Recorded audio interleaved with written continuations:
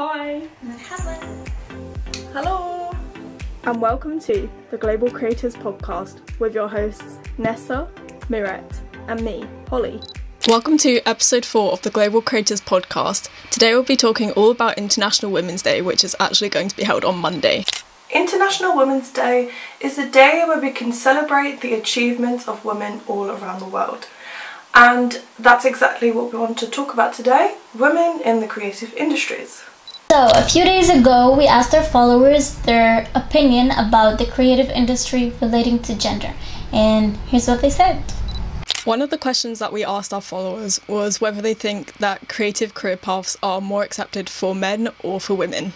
49% said for men and 51% said for women. So it was kind of like half and half in the middle. There wasn't really a clear like divide between men or women. Like people thought it was equal, which was actually quite interesting. But personally, I I don't think there is like either gender that a creative career path is favored over.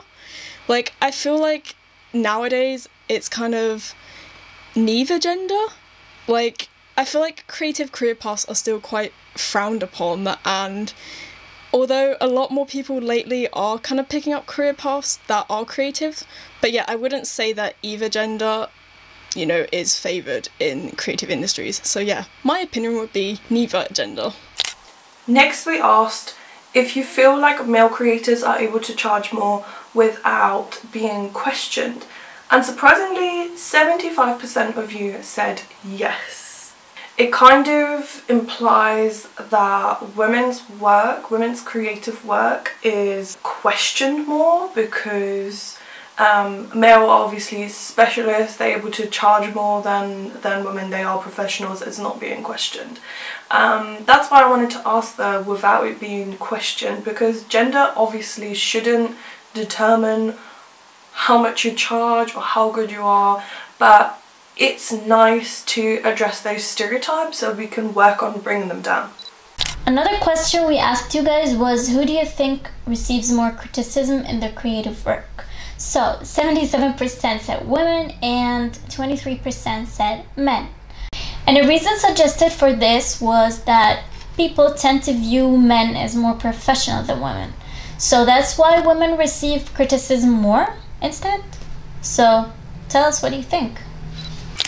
Another question that we also asked was whether people thought that gender determines people's artistic styles. 62% said no and 38% said yes. So more people actually said no, which was actually kind of surprising because I was actually expecting people to say yes.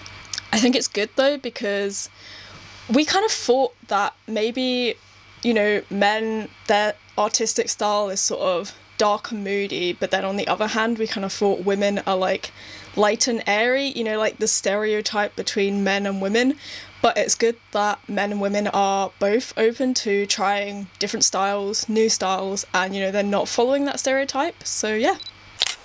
Moving on, we wanted to know who you think is deemed better when it comes to the technical side of art and photography and 60% of you, the majority, said men which sadly isn't surprising as there is a stereotype in society that men are better at technical things and men are quite like gear heavy um, and they know how to use all of their gear and stuff um, while women are seen more as focusing more on the art itself. Because that brings me on to the next question. We wanted to know who do you think is deemed better when it comes to the creative side of art and photography, like creative work?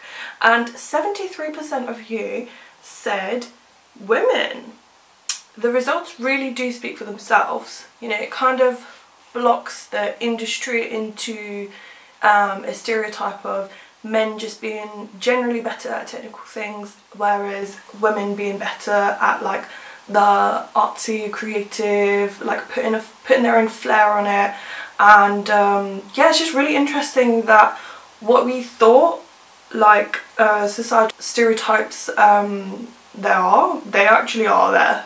But just as a reminder, don't let stereotypes stop you. You can be the most technical, proficient person on earth and still have an artistic flair to what you do.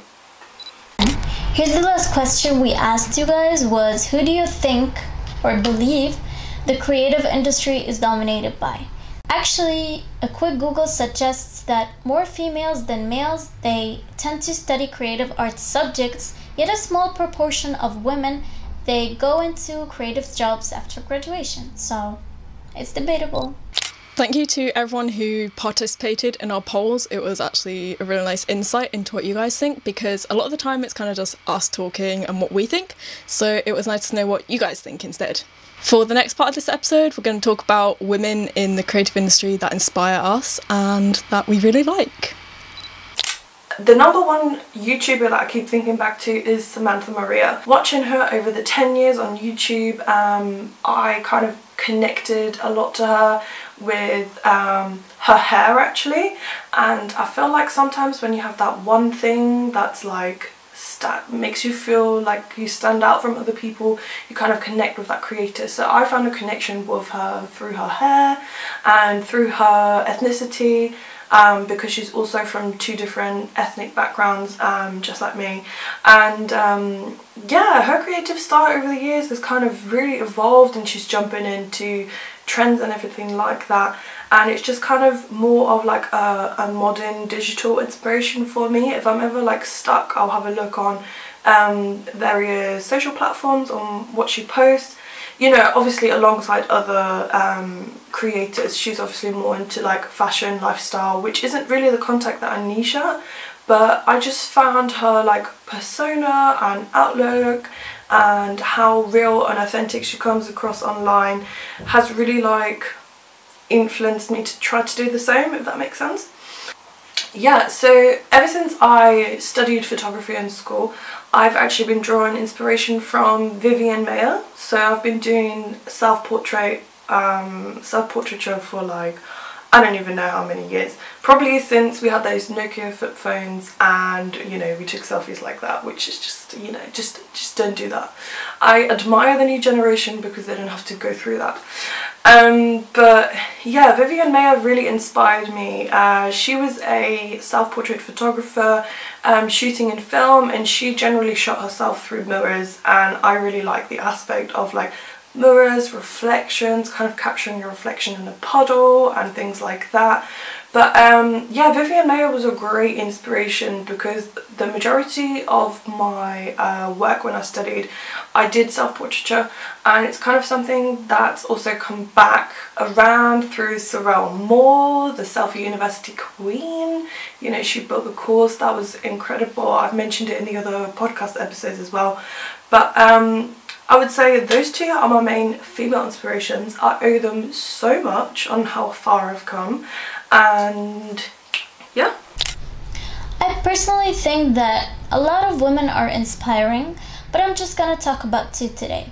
Okay, so the first one is my mom. Actually, I find her pretty inspiring to me. I always look up to her. She has struggled a lot ever since she was young, and yet she gets up every time she falls down and I actually wish to be like her one day, and I'm actually trying to gain a lot of her qualities. Another person that I find pretty inspiring is a Mexican artist called Frida Kahlo.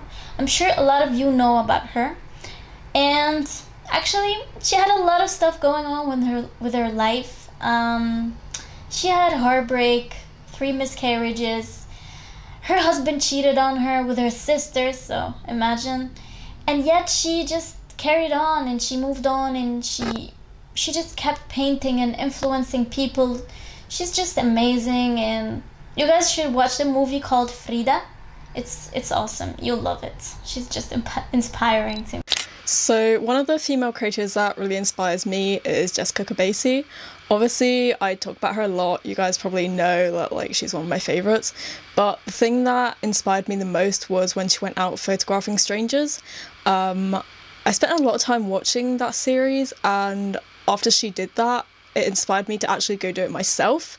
Like I I was always quite shy like in school. Like I didn't like going up to people. I don't like talking to people, standing in front of people. But she kind of gave me the confidence to go out and do that myself and I was actually really proud of that. So yeah. Another person would be Marina W Photo on Instagram. She always posts the behind the scenes of her like photographs that she takes and she always kind of thinks outside the box and has new ideas to try and I feel like that inspires me to also think outside the box and try new ideas, which I really like. And lastly, uh, hello Miss Jordan on Instagram.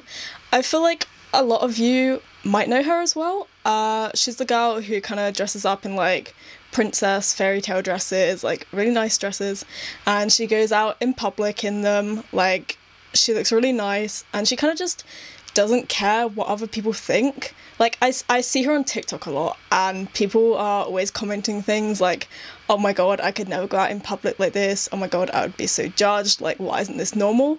And her responses are always kind of like, why not make this normal? Like, who cares what other people think? Just do it. And I think that's really inspiring that she doesn't care what other people think. And it also kind of makes me realize that, you know, not everyone cares about you. Like, the world doesn't revolve around you. So, kind of just do what makes you happy and, yeah, just go out there and live your life, I guess. Thanks so much for listening today guys. So in honour of International Women's Day we wanted to start a fundraiser for Women Photograph the charity is a non-profit charity that launched in 2017 to elevate the voices of women and non-binary visual journalists. If you want to be part of supporting Women Photograph, head in the link in our description and we would love if you were part of raising money for them. Nothing goes to us, it goes completely straight to them. And yeah, make sure that you go follow us on Instagram and comment your favourite female creator down in the comments below on our latest post. We can't wait to hear who inspires you.